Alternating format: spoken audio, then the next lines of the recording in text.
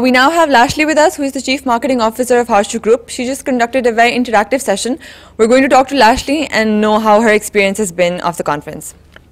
Uh, WeCon is an amazing event. The crowd is fantastic, really driven, connected, very enthusiastic people. I think it's a phenomenal opportunity for everybody that's coming together to really get excited and get dedicated to building the entrepreneurial landscape here in Pakistan.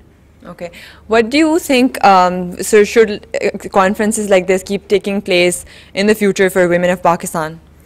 I think conferences like this are really important. Um, they bring everybody together in the same room. They let us share our enthusiasm and our passion about different subjects, improve our networking um, and our confidence, and just our understanding of different areas of business and opportunity. So, conferences like these are necessary, and especially a conference like this that's so high quality should be every year for sure.